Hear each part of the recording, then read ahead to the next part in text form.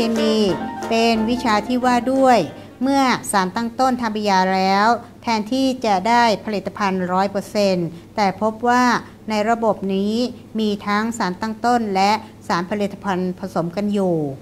ดังนั้นหากนำไปใช้ในอุตสาหกรรม ก็จะเกิดผลเสีย เพราะปริมาณผลิตภัณฑ์ไม่ได้ตามเป้าหมาย เลอชาตลีเยได้ศึกษาระบบของปฏิกิริยาเหล่านี้ พบว่าเขาสามารถกระตุ้นให้ได้ผลิตภัณฑ์มากขึ้นได้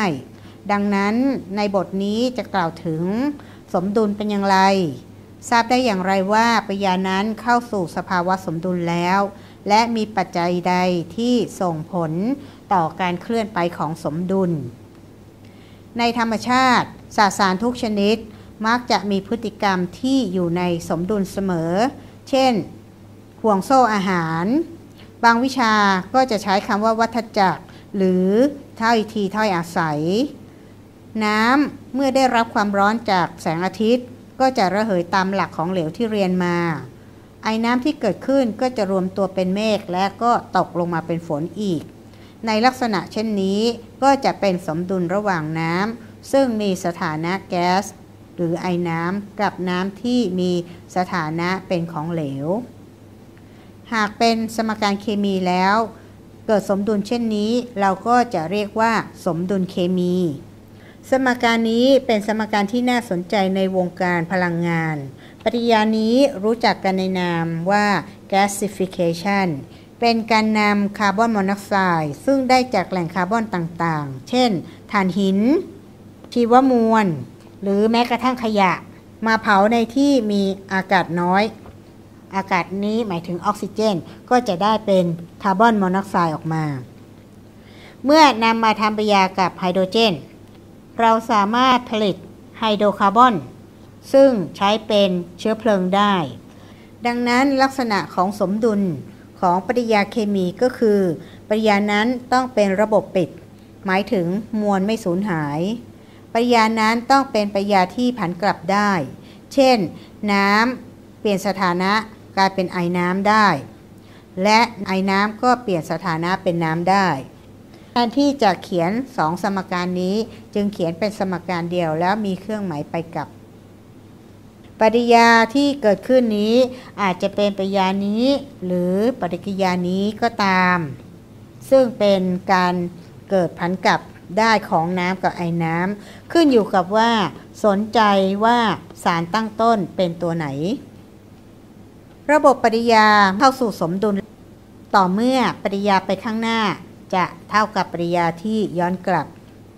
ปฏิกิริยาไปข้างหน้าหมายถึงอะไร หมายถึงปฏิกิริยาที่สารตั้งต้น เปลี่ยนไปเป็นผลิตภัณฑ์ ถ้าเป็นปริยาย้อนกลับก็คือผลิตภัณฑ์นั้นเปลี่ยนไปเป็นสารตั้งต้น ดังนั้นการเปลี่ยนแปลงระดับโมเลกุลหรืออะตอมนั้นจะเกิดขึ้นตลอดเวลา เราเรียกสภาวะ สมดุลที่ยังคงมีการเปลี่ยนแปลงตลอดเวลาว่า สมดุลพลวัตหลายคนอาจจะเริ่มคิดว่า อ้าวเขาทดสอบกันยังไง ก็จะขอยกตัวอย่างว่าเรามี A กับ B ซึ่งมีสูตรเป็น A2 กับ B2 เข้าทำปฏิกิริยากัน สารประกอบที่ได้ก็จะเป็นสารประกอบ AB ดังนั้นเมื่อเริ่มต้นก็จะมีเฉพาะโมเลกุลของสารตั้งต้น เมื่อเวลาผ่านไปที่ Y ก็จะเริ่มเห็นผลิตภัณฑ์ และเมื่อให้ปฏิยาดำเนินไปเรื่อยๆ ไปเรื่อยๆ ไปเรื่อยๆ เราพบว่าจะเห็นทั้งผลิตภัณฑ์และสารตั้งต้นผสมกันอยู่ ลักษณะนี้เราจึงเรียกว่า ระบบเข้าสู่สภาวะสมดุล หากจุดกราฟ การหายไปของ A และการเกิดของ AB อันนี้คือ A 2 อันนี้คือการเกิดขึ้นของ AB เราก็พบว่าณเวลาที่ y นี้ ผลิตภัณฑ์เริ่มเกิดขึ้นในขณะที่สารตั้งต้น A2 เริ่มลดลง จนถึงเวลาที่ Z เราพบว่าความเข้มข้นของทั้งสารตั้งต้นและผลิตภัณฑ์นี้มีค่าคงที่ สมการก็จะเกิดปริยาไปข้างหน้าและเกิดผันกลับ นอกจากนี้เรายังพบว่าเมื่อระบบดำเนินเข้าสู่สภาวะสมดุลแล้ว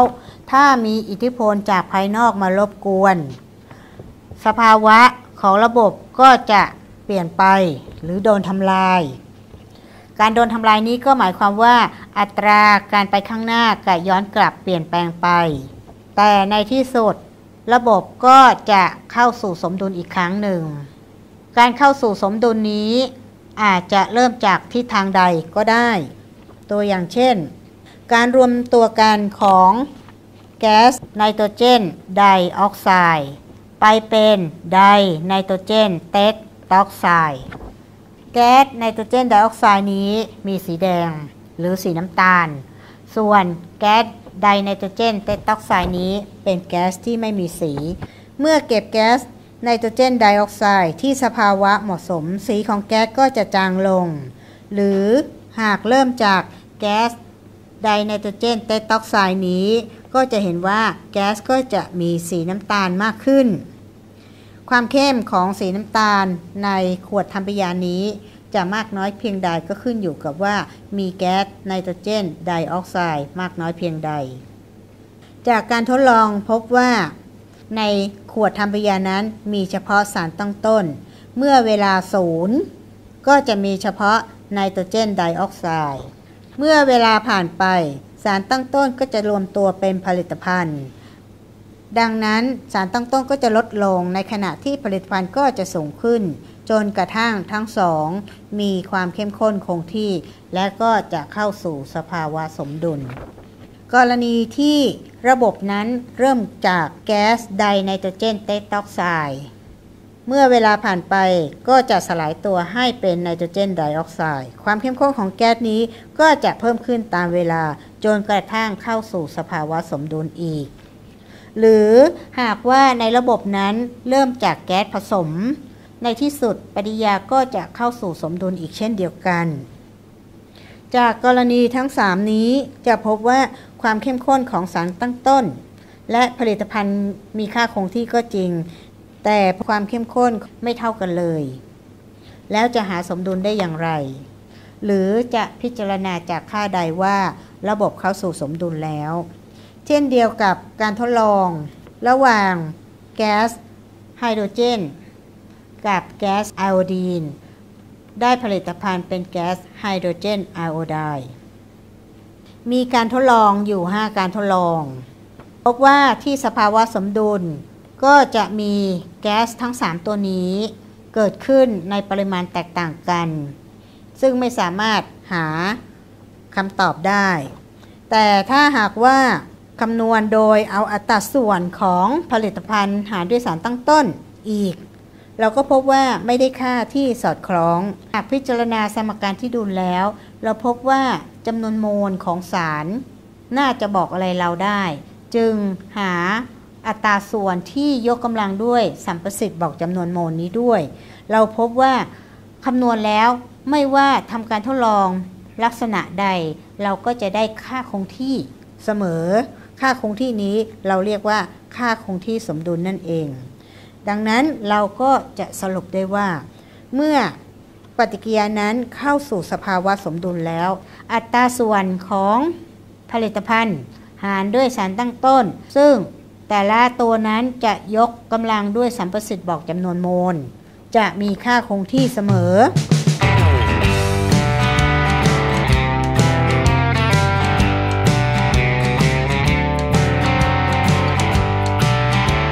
ในการใช้ค่าคงที่สมดุล ข้อที่ 1 ณที่อุณหภูมิที่กำหนด ค่าคงที่สมดุลจะมีค่าเดียว นั่นหมายความว่า 1. มีสมการมา บอกว่าอุณหภูมิ ถ้าอุณหภูมิเปลี่ยน ค่าคงที่สมดุลเปลี่ยน ค่าคงที่สมดุลนี้เมื่อเปลี่ยนอุณหภูมิจะมากหรือน้อยขึ้นอยู่กับสมการนั้น เป็นสมการที่ดูดความร้อนหรือคายความร้อนซึ่งจะได้เรียนต่อไป เพราะฉะนั้นขณะนี้ดูก่อน ค่าคงที่สมดุลเป็นของสมการของใด ๆ และอุณหภูมิต้องคงที่ด้วย ข้อที่ 2 ในการใช้ค่าคงที่สมดุลคือ ค่าคงที่สมดุลนี้ ต้องดูตามสมการนั้นเท่านั้น ถ้าหากว่าสัมประสิทธิ์บอกจำนวนโมลของสมการนั้นเปลี่ยนค่า k ก็จะเปลี่ยนด้วย ตัวอย่างเช่น สมการที่ 1 สมการที่ 2 เป็นการนำสมการที่ 1 แล้วคูณด้วย 2 ทั้งสมการ ถามว่า k2 จะสัมพันธ์กับ k1 อย่างไร เราก็ได้ว่า k ใหม่หรือ k2 เนี้ยจะเท่ากับ k เดิมยกกำลังด้วยสัมประสิทธิ์บอกจำนวนโมลนั้นอะทำยังไง รู้ได้ยังไงว่าได้คำตอบตามนี้ เราก็มาคิดว่า k1 เท่ากับเท่าไหร่ ก็เท่ากับ hi ยกกำลังสองหารด้วยไฮโดรเจน กับไอโอดี ส่วน k2 คืออะไร k2 ก็คือ hi เหมือนกัน ยกกำลังสี่หารด้วยไฮโดรเจน ยกกำลังสองคูณกับไอโอดีน ยกกำลังสองเข้าสู่คณิตศาสตร์ว่า a ยกกำลังสองทั้งหมด ยกกำลังสองเท่ากับ a ยกกำลังสี่หรืออีกในหนึ่ง a ยกกำลังสี่เท่ากับเท่าไหร่ ก็เท่ากับ a ยกกำลังสองยกกำลังสองอีกทีหนึ่งเพราะฉะนั้นจากสมการนี้ ก็มาหาความสัมพันธ์ให้มันเข้าหา k 1 ให้ได้ เพราะฉะนั้นสมการ k 2 อันนี้ก็คือ hi ยกกำลังสองหารด้วยไฮโดรเจนคูณกับไอโอดีน ทั้งหมดยกกำลังสองซึ่งข้างในนี้มันก็คือ k 1 นั่นเอง เพราะฉะนั้น k 2 ก็จะเท่ากับ k 1 ยกกำลังสองสรุปว่าเมื่อคูณสัมประสิทธิ์ ของสมการ k 1 ด้วยเท่าไหร่ k ใหม่ก็จะเท่ากับเอาสัมประสิทธิ์นั้นไปยกกำลัง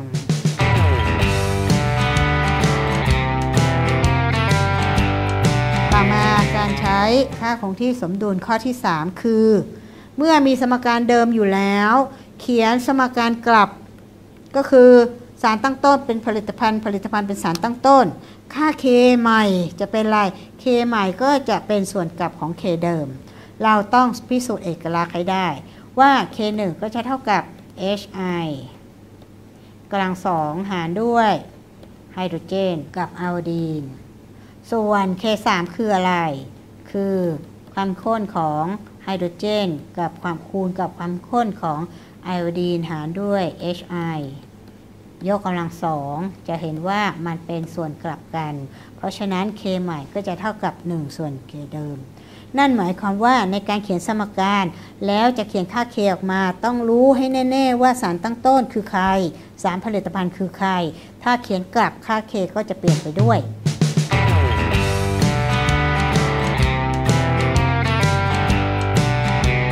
สรุปว่า ถ้าเป็นสมการทั่วไปคือ AB ได้ CD นั้น สมการที่ดูแล้วก็จะมีสามประสิทธิ์บอกจำนวนโมล แต่ถ้าหากสมการนั้นเป็นสมการเดียวกันเลย แต่อยู่ในสภาวะสมดุล สมการก็ยังต้องดูลและก็เครื่องหมายลูกศรก็จะเป็นย้อนกลับและไปข้างหน้า สมดุลนี้มีค่าเท่ากับเท่าไหร่ ขึ้นอยู่กับว่าอุณหภูมิ เลขสัมประสิทธิ์บอกจำนวนโมลหรือกับสมการ จะมีค่าคงที่สมดุลเปลี่ยนไปอย่างไร สามารถดูได้จากค่าจริง แล้วก็พิสูจน์เอกลักษณ์โดยทางคณิตศาสตร์ได้